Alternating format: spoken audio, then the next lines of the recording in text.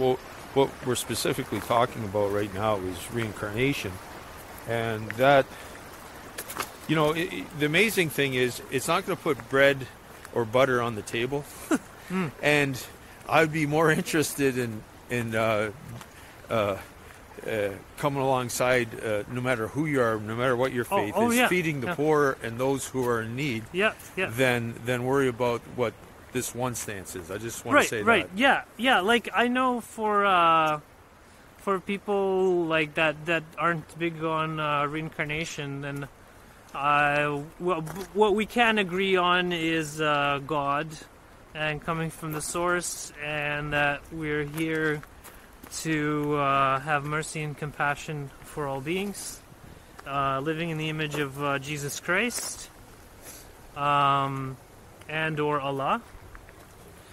And uh, And and I have yeah, And I, I just want to say too uh, to my Muslim brothers, uh, my my Islam, Islamic name is Abdul Rahim, and uh, many know that I I have uh, had some experience being a Muslim, but really I, what my mainstay now is to understand that it's it's not so much what I know, it's it's the fact that I'm growing. We are growing as a community, and. Uh, without some strategic uh, initiatives, we're in big, big trouble. Uh, that's how I say. You say we're in an age of peace. Uh, I believe well, the peace statistically, will. Peace will. statistically, it's pe- m- w- w- everything is more peaceful all the time. Well, uh, they're certainly not advertising that on the air. Oh, well, it might be true, yeah. but they're certainly not bringing that to the news. oh well, just, that's that's because uh, people wouldn't watch that on the news. Well, there you go. yeah, Uh, but um, it's like, look, another child is happy. Well, well, you know, and they, they don't want to. They're not making any money on that one. Right. But But you know, Grey Bruce, uh, the, the Grey Bruce Times, yeah, uh, they usually have positive uh, things on the front page. is awesome. nice. I, I think that Yeah. there should be, and there, you know, we're going back to wholesome traditional values. Mhm. People want to see uh, good storylines. People want to hear good things. Mhm. And when we do, po- when we purpose to, to be positive in our outlook, uh, because there has been a rage in me uh, fighting for those who are in need. You know, because it's it's heartfelt because you get to see front and center those who are uh, sometimes even die in front of you, or slow deaths because they're hurting and they're in the opioid uh, syndrome, and it's really no fault of their own because they've been set up. It, it, it's it's a mindset, and it's uh, it's big big money, and um, all I know is um, this little walk here has stirred me up just to say, well, you know, obviously Logan has something on the go that um, I won't endorse it. I won't I won't say we should jump into it, but certainly we should uh, consider talking with Logan. Uh, he seems like a very nice man, and he's genuine. That's what I can say. You know, uh, this has been a good, good little Well, little walk today. It's it's really gone all around the board, but um, life is special and uh, to be lived and to love. I like I like what you're sharing about uh, forgiveness. And what was the some of the uh, character uh, traits you were talking about? uh, forgiveness, com- mercy, compassion, and unconditional love. Yes. Yes, Th- those are the main traits of, of God. Uh, Yeah. In, uh, for instance, the Quran, Allah is most compassionate Most and most merciful. Yes. Yeah. And so, uh, which I fall so short of, but um, the times I am kind, the times I'm reaching out, it really adds to my life, and and I see the value in in uh, loving others, not to be for myself, but because of the value of who they are, and having a community. We desperately need a community. Uh, just locally here in Canada, it's all over the world, but right here, we need we need a place where we can grow not just one year the next year but throughout our life where we can have some stability and you know have a running brook or have a you know trees trees around you and to be able to go outside and you're you're able to pick fruit off your tree or hmm or grow in the winter time have you know, uh, Oh, other. in the wintertime, there's Yeah. there's tubers. what's, what's that? tubers. What's that? They're, they're well like potatoes. Oh, okay. uh, but sorry. sunflower okay, yeah. potatoes. Okay. Um, and uh, you, you can they, they actually they grow here, and they're hardy to our, our zone. Okay. And uh, you can get uh, all of your carbohydrates uh, easily from sunflower Oh, potatoes. They grow very okay. well. Okay. And you can also uh, there's Apios americana, uh, which also has uh, th- they're another kind of potato, Okay. uh, but they're very high in protein. But they're Okay. about Oh. 30 to 40 percent protein. Oh. Uh, so you can get all your protein needs Okay. uh, in the winter or, Right. or the summer with them. And Are you a vegetarian? I'm a vegan. oh, vegan. Okay, good. Yeah. Because I was about to say, you know, of course, we can go hunting and all, so I'll be careful what I say because I don't want to offend you. Oh yeah. But but but It, it, it's Yeah. just that um, the issue with meat is that it requires a lot more space. So, for Okay, instance, sure. uh, remember how I was telling especially you? a cow. yeah, a hectare meat is enough to feed uh, 300 kilos of human, but it's only enough to feed 150 kilos of pig. Okay. So, uh, Yeah. you know, it, it's it makes more sense to not have the pig in the picture Well, and, and just have more protein sources. Like there's Yeah. pea trees yeah, and legumes yeah, and yeah, things like that for protein. yeah. Uh, in terms of omega 3s, one of the things I was thinking of is crayfish.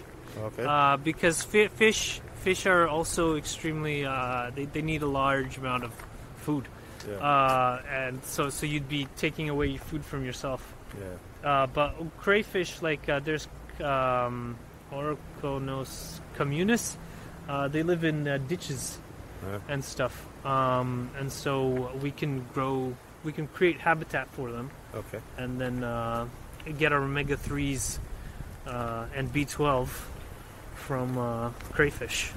Right.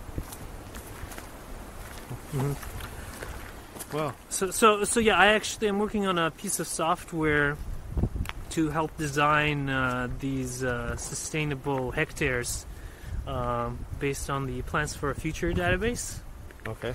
and uh, so that way uh, we can uh, kind of like on- once we get it going we can like cookie cutter these uh, sustainable communities all over uh, Grey Bruce Owen Sound or all over Canada. I, I also have um, a foreign investor who's interested in setting one up in Africa and Mexico hmm and uh, I have uh, someone else in New Zealand uh, that's interested in making one. Okay. Yeah. Well, it's interesting. I uh, I think uh, you reminded me uh, the movie Gandhi. I I often watch it. I've watched this probably over 30, 40 times. Uh, researched him a little bit, but Mm-hmm.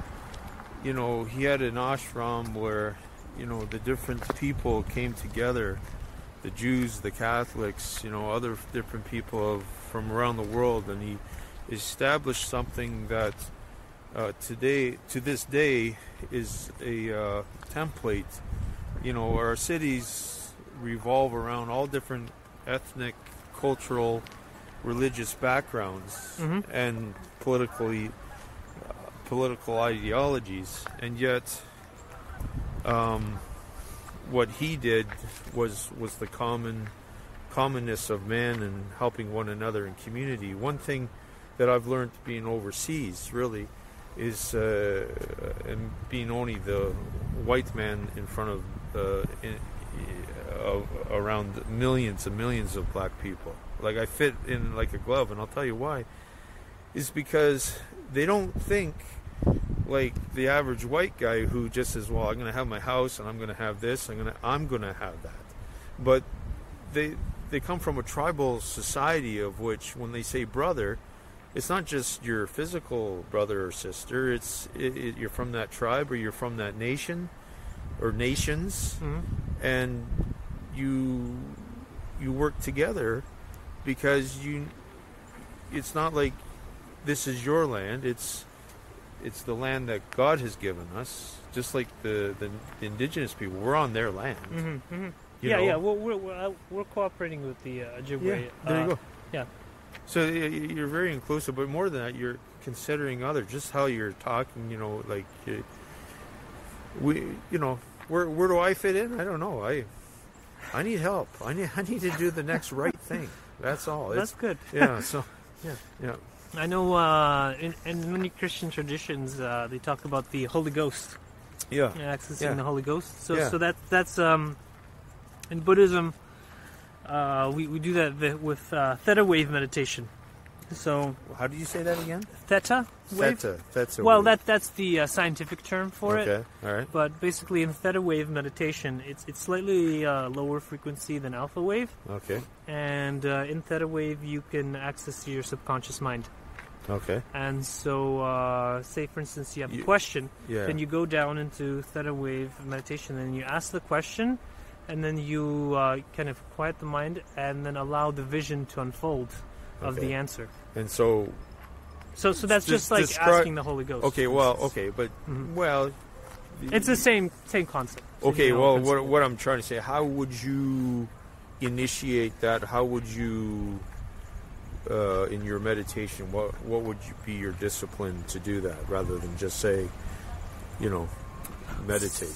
So, oh well, uh, like for for beginners, It's a bit uh, cool out here for you. I think yeah, yeah. time to. yeah, or, or at least warm. standing under that tree. Okay, all right, uh, so, because yeah, we're kind of in a throughway. okay, Uh, for beginners, uh, you can do theta wave entrainment uh, melodies, and they will help. Uh, your brain will synchronize to the theta waves. And uh, kind of an important note is that it's kind of mostly for the initial question. Uh, so once you ask the question, then uh, once the vision starts unfolding, then you go into uh, it's like a dream. So then you go into rapid eye movement. Uh, but so- how so how, how would you access? How, how what kind of discipline? Give give me a you know a short play by play how you would do that. So how I would do that? I would sit down for meditation. Yeah. And then I would uh, do some breathing, maybe like uh, five or ten minutes to uh, help me uh, calm down and uh, just have the alpha wave stillness. And then I uh, would have my question, hold it as my intent, and then I would sink a little bit lower, and then I would kind of, I would just wait. I would just kind of be in like a pregnant silence. Right. And then uh, and then usually the answer comes. Okay. So one one thing, and I'm glad you shared that, is like a lot of the spiritual disciplines, uh, especially from the East, uh, the Eastern meditation, uh, really gripped North America only in the last 30, 40 years. It's, Mhm. it's, it's something new because we've never really sat down and just did nothing and allowed the silence become you know to and what, what and the reason why I say that or the reason why I'm talking about it is because the spiritual disciplines that that um, sometimes they can be so religious that you miss the whole thing too because you, you're going mechanical. Mhm. but Jesus talks about the heart. He he deals with the individual. And and the reason why I'm sharing this is because I think it's important that that we don't disclude, disclude some of the disciplines that are practiced are actually very close to a, a Christian's way of life, but a Christian is so far from it here in North America. Um, everything's loud, everything's fast, everything's programmed, everything's this, this, this. And we have to slow down to hear the voice of God. Yeah. And Well, it's yeah, it's the voice of the Holy is Ghost. in or- the in the Holy Spirit. Yeah, Yeah, mhm. and I often and and I think those who would be listening today can attest to when they go to sleep, and sometimes they're awakened to a certain uh, uh, understanding or something. You know, that's when God can really speak to us is in the sleep or the, the the night hours because you know our brain has been so racked with this and that is when we become still and is the word of God says you know be still and know that I am God Mhm. and so you know just standing under this tree is really uh, rather unique it's very Yeah. peaceful here isn't yeah, it Yeah, it is. It is, and, and there's a lot less wind and everything. Yeah. it's much warmer. I've Yeah. enjoyed this time hmm Logan uh, I know you're a deeper type of person Thanks. and um, I, I think I would just would welcome others to come and get to know you as I will as Mhm. time Sure, goes. yeah, you yeah. know, Mhm. and as the Lord would direct my steps. You Mhm, know, mhm. but I, I purposed. I purposed. I, I just want to say on camera here that I purposed to get to know you. Mhm. I think others uh, just understanding in North America, you know, someone's dressed the way he is, you, you kind of others others maybe from the old school would say, "Well, this guy's nuts, man. Like, who is this guy? you know, he's wearing green." And but see, people people if, if if they would just go with their heart, they might even come up to you and say, "You know, I, I have a few questions. Why why are you dressed in green?" what is that you believe what Mhm. why are you here what is you know and i you know it's not i hope i haven't singled you out by sharing that I, No, it's just right. saying what i think others might say Mhm, mhm. but i think it's important that we get to know each other uh, because you know i believe that god has created us to all live together forever it's not it's not Mhm. just here and now Right, right. Yeah, with the new age uh, kind of civilization, um, basically it just kind of gets better and better after. Um, but yeah, they they did find that in the 2100s that uh, only about five to six percent of people saw themselves uh, in that time frame. So the other 95 percent were not incarnated uh, for whatever reason and they, they're not really sure what happens, but it might be related to peak soil and peak oil and all those peak phosphorus and uh, so after after say for instance 2035, which is peak phosphorus, the price of wheat will have a conventional wheat will have Yeah. nowhere to go but up. yeah Um, and so you, you know, the, well, you, you can imagine what happens. yeah, Um, oh, I had two things I wanted to mention. One was uh, that the uh, how the Christians do it, is asking the Holy Ghost. What's what's good about that is that they're asking a benevolent uh, spirit uh, to filter the incoming information because uh, some people do make kind of the error of uh, you know going into that subconscious state and then just accepting anything that happens and being like this is what I have to do yeah. uh, but we still have uh, our own free will and be like, you know, if you have a bad vision, it's like, you know what, I don't want that. Yeah, yeah. You know, you can choose. You can choose to say no, and then you can also choose, you know, that a benevolent uh, spirit like the Holy Ghost, or if you're a Buddhist, maybe Av- Avalokiteshvara, or you know, if you're a Hindu, it might be some other benevolent, you know, spirit. But the the the idea is the same. It's they're all from the source of that unconditional love, and uh, the best intentions. And and there, there was one more thing I th- think I forgot to mention was uh, another great winter fruit uh, that we can grow here is persimmons. oh really Yeah, oh. and so they actually many of them stay on the tree all winter. Yeah. So you can have uh, fresh persimmons all throughout the winter. oh that's cool Yeah. I, I personally, I personally, uh, I like the warmer climates. uh, being overseas in Africa, West Africa, I, I, it's a couple months where you don't like it, but generally it's pretty.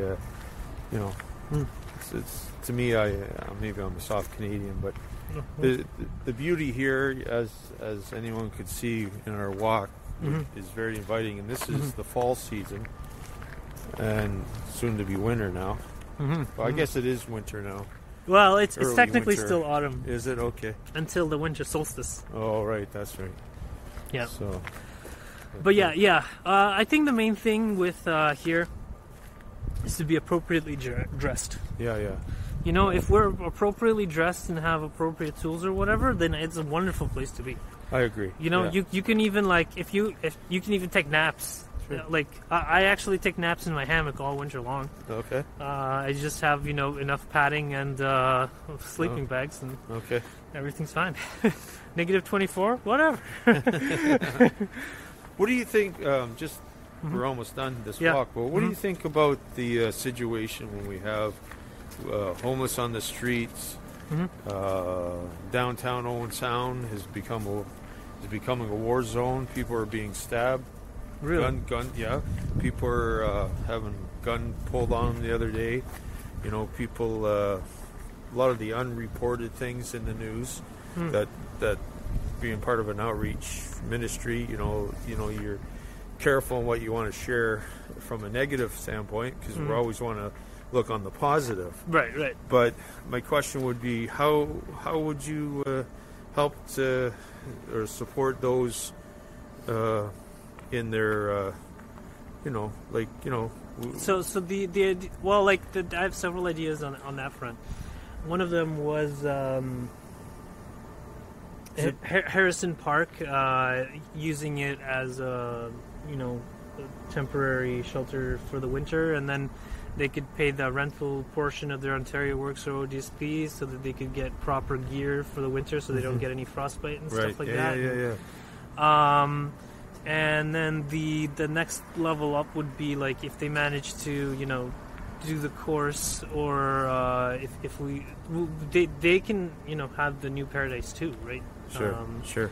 and the new paradise communities.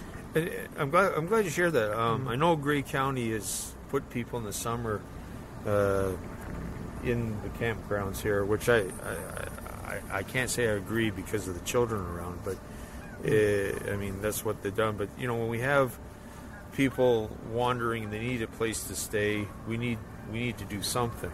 Mm. and um,